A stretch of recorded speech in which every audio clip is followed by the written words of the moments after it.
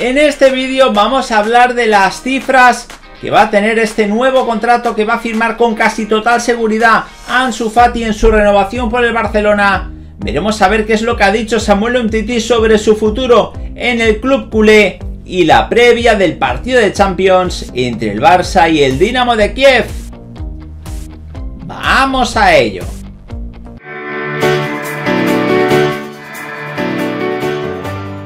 Hola de nuevo gente, ¿cómo estáis? Bienvenidos a un nuevo vídeo de Objetivo Gol. Vamos a analizar la última hora del Fútbol Club Barcelona y vamos a hacerlo con varias noticias. Por tanto, te animamos a que te quedes hasta el final del vídeo y a que nos dejes un buen like. Vamos sin más dilación analizar la primera noticia y vamos a ver las declaraciones de Samuel Umtiti a Mundo Deportivo. Uno de los futbolistas que todavía no ha debutado esta temporada con la camiseta del Barcelona es Samuel Umtiti. El francés no cuenta para Ronald Koeman y su posición dentro del club está en entredicho.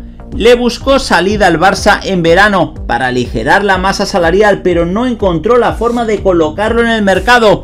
A pesar de todo lo que rodea a la figura del futbolista, el zaguero que tiene todas las papeletas para marcharse en enero, rompió su silencio en Mundo Deportivo. Dijo lo siguiente, lloré cuando me reuní con el presidente, yo no hablo mucho pero si digo algo, lo digo con el corazón y al final es lo que pasó. La verdad que fue una conversación muy importante para mí, necesitaba hablar y decir las cosas claras que el presidente supiera que estoy bien y a tope, que quiero ayudar al club y al equipo, es la única cosa que quería decir. Empezó diciendo el galo que agregó lo siguiente, él me dijo que si estoy bien, lo tengo que demostrar y lo voy a hacer. Él me conocía de cuando llegué a Barcelona, me veía bien y sabía que hice buenos partidos. Me dijo Samu, si estás bien lo tienes que demostrar y luego puede ser que tengas oportunidades añadió. Por otra parte, un tití no ocultó su preocupación por su imagen.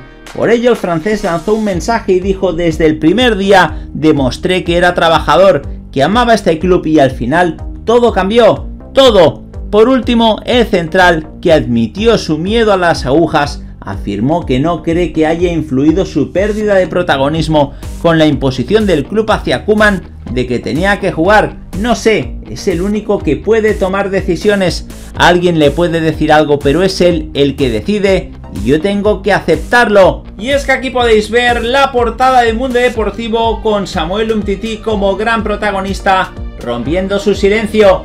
Vamos a hablar ahora de las cifras del nuevo contrato que con toda probabilidad Ansu Fati firmará con el Fútbol Club Barcelona. El canterano seguirá de Blaurana hasta el 30 de junio de 2027, después del principio de acuerdo al que llegaron la noche del lunes en Oporto, el representante del jugador Jorge Méndez y el director de fútbol del Barça, Mateo Alemán, que se desplazó hasta Portugal para sellar el compromiso. El club Laurana ha logrado como quería un contrato largo con el futbolista y también ponerle una cláusula de rescisión prohibitiva será de mil millones de euros, la misma que se le puso a Pedri cuando renovó la semana pasada. Es una cifra que muestra la apuesta firme del club por estos jugadores, así como un aviso al resto de clubes europeos.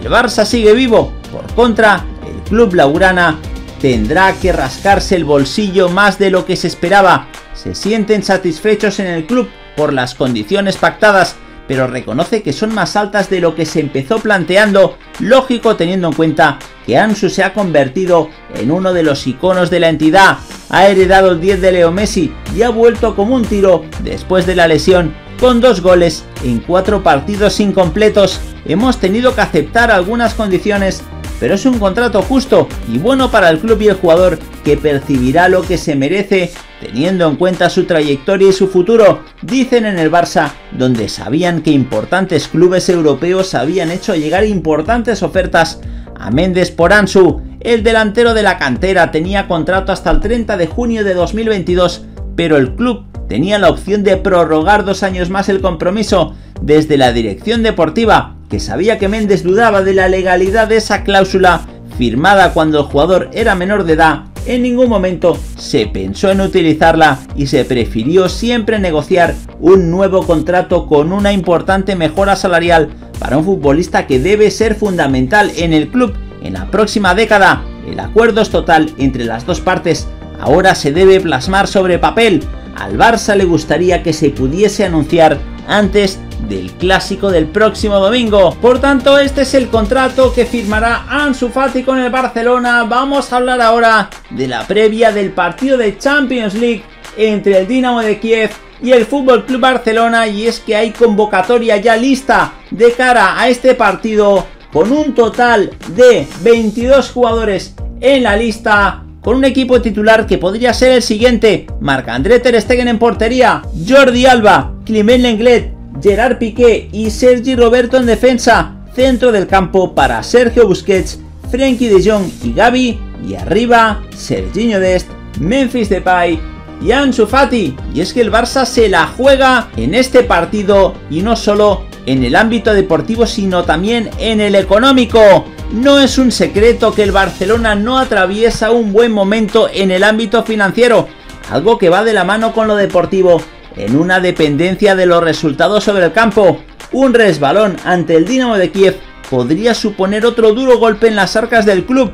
De acuerdo con Eduard Romeu, vicepresidente económico del Barça, en declaraciones para Cataluña Radio, la meta estimada es figurar entre los 8 mejores de Europa. Lo dijo así, nuestros presupuestos contemplan que el primer equipo de fútbol llega a los cuartos de final de la Champions League la visita de los ucranianos será el primero de los dos compromisos vitales para los de Kuman, que están obligados a obtener los tres puntos en ambas presentaciones antes de recibir al Benfica y visitar al Bayern de Múnich, esperando no llegar a Alemania necesitando puntos para avanzar a los octavos de final. Si el equipo azulgrana no se clasifica para la fase de eliminación directa, dejará de percibir unos 9.6 millones de euros que se sumarían a los 10.6 que les reportaría el avance a los cuartos, tal como está fijado en los objetivos definidos por el club, como lo ha explicado el propio Romeu. En total las pérdidas ascenderían a 17 millones de euros. Terminar tercero en su grupo relegaría al Barça a disputar la Europa League,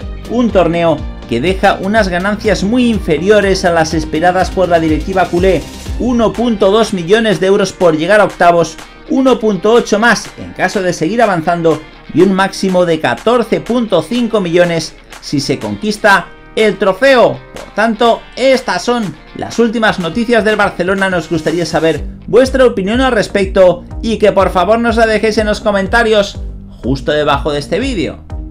Nada más por el momento, como siempre animaros a que os suscribáis al canal para seguir viendo todos nuestros vídeos. Y aquí os dejamos este vídeo más que interesante para que sigáis disfrutando de todas las noticias del fútbol. ¡Hasta la próxima!